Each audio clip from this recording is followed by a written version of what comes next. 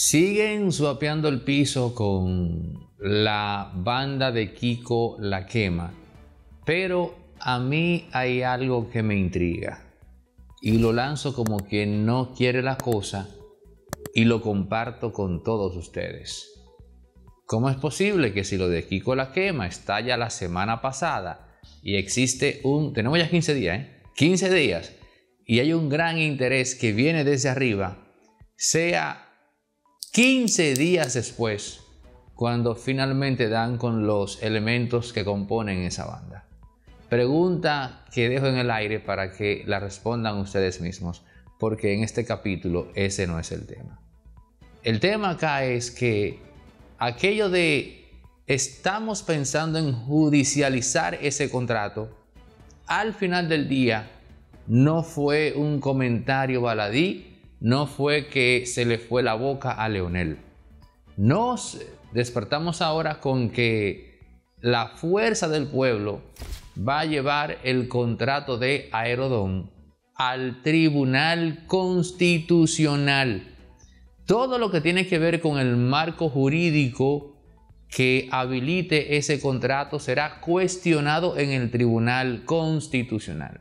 Y por si usted no lo sabe, si en el Tribunal Constitucional se falla en contra del mismo, eso es irrevocable. No existe lugar alguno donde se pueda ir en la faz de la tierra para deshacer eso. Es evidente que Leonel Fernández está convencido de que la reelección depende de los 775 millones de dólares que le va a dar eh, Aerodón al gobierno dominicano en los próximos seis meses dejando por cierto con solo 500 millones a los próximos nueve gobiernos que vengan a ser pagaderos por parte de Aerodón. Leonel está convencido de que ahí está el capital de la reelección. ¿Será acaso porque eso le recordó su reelección en el año 2008 eh, cuando necesitó un contrato que precisamente no pasó por el Congreso? y estoy hablando del contrato de la Sonlan y que hay observadores de la historia que asumen que fue ese contrato el que financió su reelección, primero para derrotar a Danilo Medina y después para derrotar a Miguel Vargas Maldonado, que le sacó un 41% en esas elecciones. Ahora, dicho esto, yo tengo que lanzar otra pregunta inquietante al aire. No se supone que la reelección cuenta con el apoyo de los empresarios más poderosos de República Dominicana. Digo esto porque entonces tenemos que preguntarnos en la imperiosa necesidad del Ejecutivo de depender de esos 775 millones. Daría la impresión de que Luis Abinader no tiene otra fuente para financiar esa reelección. Estoy hablando en un, eh, en un tiempo hasta cierto punto incierto, entre comillas. Pero uno dice, bueno, pero ¿por qué jugársela?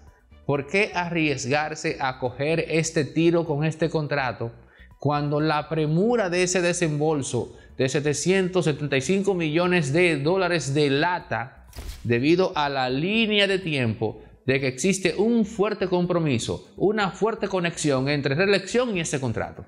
Y Leonel lo sabe.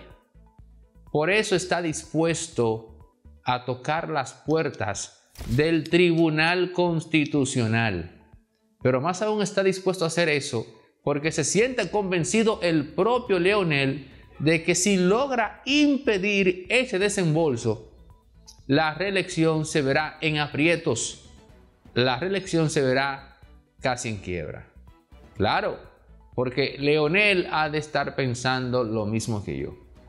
¿Qué es lo que le puede dar ese contrato? Que no le puede dar Manuel Estrella y el grupo empresarial de Santiago. A no ser, y admito que ya esto es un poco especulativo de mi parte, voy, me lo voy a jugar.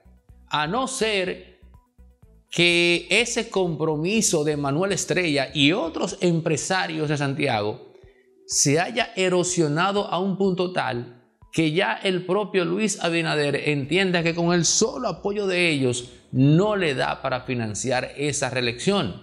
Y usted dirá, pero ¿por qué tanto dinero? Miren, señores, yo les voy a revelar algo. Y esto me lo comentó una persona directamente involucrada. Táctica para impedir que tu competidor saque más votos en unas elecciones, pero que a su vez eh, implica el desembolso de millones de pesos en efectivo. Las guaguas de los sindicalistas, por ejemplo. Si yo quiero impedir que fulano use esas guaguas para, para garantizar sus votos, yo le alquilo por cinco días consecutivos todas esas guaguas con dinero en efectivo a ese sindicalista. ¿Para qué? Para que me las pare ahí.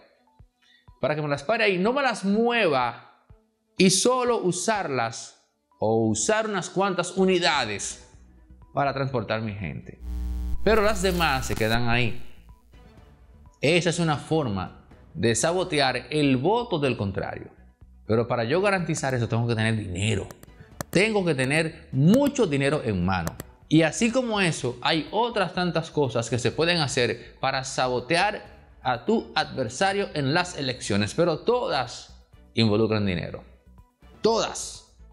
Entonces, Leonel está convencido de que esa reelección depende de esos 775 millones de dólares y por eso está dispuesto a ir al Tribunal Constitucional, donde él entiende que hay gente que le debe favores. Y digo esto último porque es ahí donde el asunto se complica si Leonel Fernández escala eso hasta el Tribunal Constitucional. Leonel va a intentar parar la reelección en cuanto a recursos, cobrándole favores del pasado a algunos jueces que están en ese tribunal. Esto pica y se extiende y ahora es que se pone interesante. Ahora es que lo de Aerodón alzó vuelo. Mi nombre es Secundino Paulino Rosario, residente de Jima Bajo. Tengo 46 años, yo me dedico a pintar casa. Soy voluntario de los bomberos y voluntario de la defensa civil 24-7. Mi objetivo es terminar bien, bien, bien mi casa, como lo que, lo que dije y veis cómo yo ayudo a mi familia. Mi casa yo le quiero hacer la, galería, ponerla como más porque no la tengo, ponerle su, su pañete aquí afuera y arreglarlo en cerámica. No, yo me enteré por un amigo que lo jugaba, dice la muchacha, la que me vendió el ticket, juégalo ahora que tú te lo vas a saltar y cuando lo jugué fui afortunado. Si el otodón que me puede dar a mí para yo hacer y realizar lo que yo quiero, yo tengo que seguirlo jugando. Yo dije, yo nomás dije, ay Dios mío, gracias que me pusiste ahí buena mano. Al fin voy a terminar mi casa. Yo me siento tranquilo, feliz, lo que pasa es que no puedo estar ahí brincando, que si me da un ataque me muero. Que jueguen el otodón como yo lo, jugué para que gocen como yo estoy gozando ahora. Porque dígame, jugarlo para usted gozar. Si usted no lo juega, no lo va a gozar. Yo lo voy a gozar hoy, sí. Un millón de pesos sin, sin dar un peso. El tema de los tapones en República Dominicana es el de nunca acabar. Yo mismo ya me he resignado, tiré la toalla, entiendo que en términos conceptuales no hay nada que se pueda proponer y para colmo el gran Salvador, el Mesías, que era Hugo Veras, que tenía a manos eh, la solución para ese tema, eh, se ve envuelto en un complot, no sé, el punto es que se lo llevaron, no pudo culminar su obra y con ello perdimos la última esperanza de hacer de Santo Domingo una ciudad eh, eh, fluida, ¿no? Fluida, armoniosa en el tránsito. Pero hay una propuesta ahí que me parece interesante. Y va de la mano de William Figuereo, que es un, es un sindicalista de bajo perfil, pero cuando la escuché me pareció muy, muy proteica.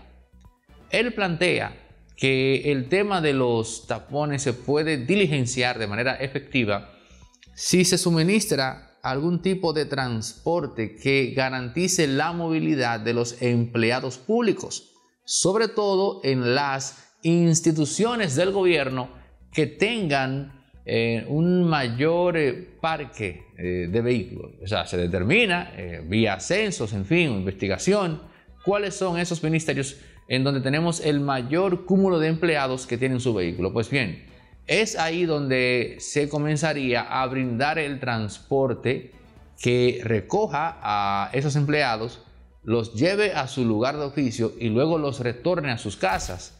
Con estos autobuses se va a disminuir drásticamente la presencia de vehículos en nuestras avenidas y al menos de lunes a viernes esto tiene que impactar menos vehículos, menos eh, tráfico, menos tapones. Una ecuación simple de aritmética elemental, básica. Y la verdad es que yo compro la idea. Habría que ver si los empleados públicos que tienen vehículos están dispuestos a hacer ese, entre comillas, sacrificio, que además no veo por qué digan que no, porque sea dicha la verdad, representaría, señores, representaría dinero eh, que se ahorrarían en combustible. O sea, usted no ir al trabajo de lunes a viernes, eso a usted en términos de economía doméstica le representaría en un caso moderado un 10% del transporte. Eh, en un caso más drástico, entre un 15 o a un 20% de su presupuesto doméstico, lo que usted gasta en gasolina, gasoil, en fin, gas. Entonces, esa propuesta ya está eh, en, el despacho del Intran como tal, su nuevo incumbente, y vamos a ver cómo, cómo fluye esto. Quise compartirla con ustedes porque me pareció en verdad útil y el sentido común me hace eh, pensar que sí, que sería de gran ayuda en aras de contrarrestar estos tapones que se hacen eh, cada día que pasa más insoportables. Bueno, si tú estás en plan este año de montarte en un auto eléctrico o tu primer carro y que sea eléctrico, te tengo una muy buena noticia. Centro Electronic RD, marca especializada en vehículos eléctricos, tiene, sobre todo si tú vas buscando tu primer carro, tiene la opción idónea para ti, para que con un financiamiento flexible y para que el costo del combustible no sea una pesadilla y además si vas vía impolíticamente correcto a través del 829-741-3061, tienes un descuento de mil dólares. Oye bien, o sea, un descuento de mil dólares. El vehículo está en unos 13.500, pero vía impolíticamente correcto te ahorras de entrada mil dólares y te queda en tan solo 12.500. Tu primer auto y eléctrico con financiamiento flexible y que te liberes de la carga de, o sea, estamos hablando de que con mil y pico de pesos mensuales tú andas todo el país. Centro Electronic RD puedes, puedes reservar tu visita en el 829-741-361 para que vayas referido por nosotros y obtengas al vuelo ese descuento. Otra cosa, señores, que tengo que compartir con ustedes. Estamos en 240 y tanto de miles de suscriptores. Tenemos que llegar a los 300 mil. Esa es la meta para el próximo año. Así que cuento contigo. Hay mucha gente habitual que aún no se suscribe. Aprovecha y hazlo ahora. Pero también comenta, comparte estos eh, contenidos y da like o dislike. Deja tu comentario sobre el tema que acabas de ver o escuchar y gracias por llegar hasta la parte final de este capítulo. Ahora nos vamos con unas interesantes recomendaciones.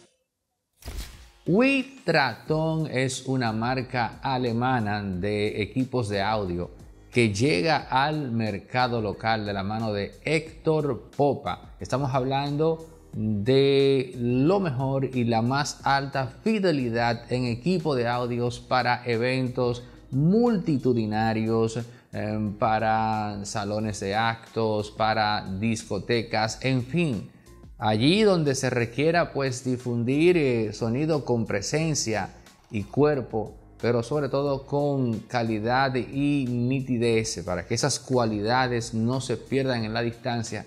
Esta marca alemana Witraton llega a República Dominicana de la mano de Héctor Popa. Esta, esta marca eh, eh, no está de más decir, señores, estamos hablando de una marca alemana reconocida a nivel mundial y que es altamente demandada en toda Europa cuando se trata de eventos multitudinarios en donde se requiere una calidad óptima en el sonido. Teléfonos en pantalla para que de inmediato contactes con Héctor Popa, distribuidor en República Dominicana de la marca alemana de equipos de audio Witraton. Farmacia Medicar GBC está abierta de lunes a domingo, sigue en pie con su descuento de un 20% y también tiene su app que pueden descargar eh, los amantes de Android y la gente también de Apple. Farmacia Medicar GBC, la de nosotros los dominicanos. Atención a todos los profesionales, emprendedores y empresas medianas y pequeñas que quieren tener su contenido de calidad circulando por las redes sociales, dando a conocer sus servicios. En Resorte Media hemos habilitado una unidad audiovisual especializada en la producción de contenido corporativo, empresarial y para todo aquel emprendedor que quiere acogerse a aquello de que dice que una imagen vale más que mil palabras en efecto podrás tener las mejores imágenes, la mejor calidad al precio más competitivo del mercado para dar a conocer tu servicio a todos acá en República Dominicana e incluso si tu empresa capta clientes en el extranjero, también podrás contar con eso. Contáctanos, escríbenos al 829-741-361 para que arranques desde ya a colgar contenido en tus redes sociales con la mejor calidad audiovisual posible, la que Resorte Media pone a tu disposición con el presupuesto más eh, asequible del mercado.